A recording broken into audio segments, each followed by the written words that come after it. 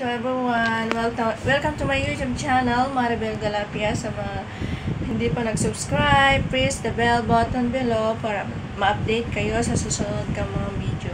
Ganito talaga ang buhay abroad, uh, routine again, going to school. Kaya ito, nag-prepare na naman ako ng pagkain ng mga alaga ko. Ang pero ito, ito guys, ang sarap. Sobra. Ito yung namimiss ko sa ano sa Pilipinas, yung talbos ng kamote with kamatis. Yan. Yan. Talbos kama tal talbos ng kamote with kamatis.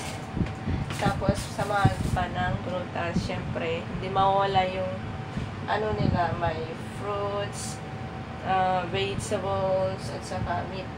Kailangan tatlong sama-sama yan. Tapos, ito, yung gawa ulit ko din. Na, ito yung, ano, pagkain ng alaga ko. Yan, may, ito may chicken, pork steak, tapos may, ano, at pakainin ko din siya ng talbos ng kamuti.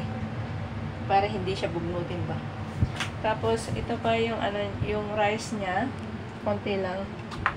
Yan habang nagpe-prepare ako ng pagkain ng alaga ko, yan, sinasamahan ko na naman ng paglalaba. Yan. Naglalaba, malapit nang matapos. Malapit na siyang matapos. Kaya habang nagpe-prepare ako ng mga baon ng mga alaga. Kasi guys, yung ano, yung isa, wala dito sa bahay kasi pumunta pumunta sa doktor kaya hindi hindi siya pumasok. Um, kasama yung tatay niya. Yan. Okay na.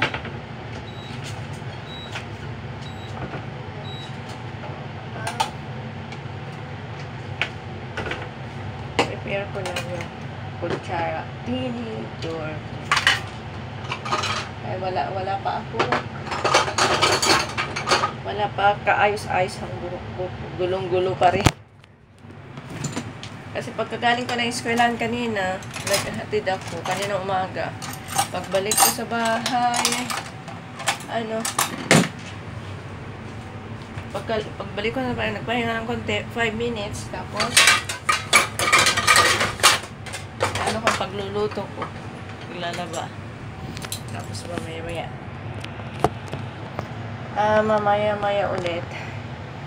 Ano ta? Kaya ganitong buhay abroad, taste-taste lang talaga. Lagi kong paulit-ulit sa mga video ko, taste lang talaga. As in, walang pwedeng, ano, pwedeng katamad-tamad. Kasi, binabayaran tayo guys. Binabayaran tayo. Kaya minsan, nai kaya minsan naisip ko, kasi malapit na rin akong uwi sa Pilipinas. Kaya doon ko na lang enjoy pag nagbakasyon ako.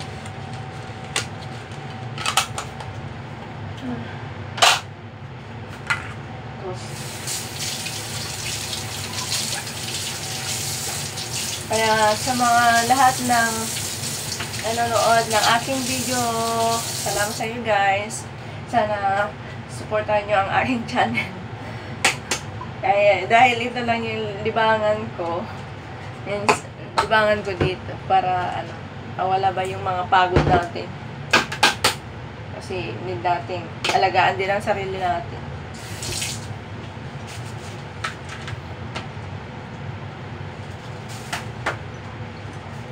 Kaya, bigyan natin ng konting asin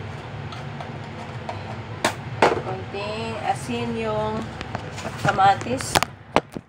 Yung kamatis, lagyan ko siya ng konting asin. Para may lasa-lasa ng konti. Mamaya, mamaya-maya. Pagka, ano ko, uh, oo namin ko mamaya. Doon sa eskwelahan. Baon na rin ako. Kasi, may nahatayin ko pa ng matagal doon sa school.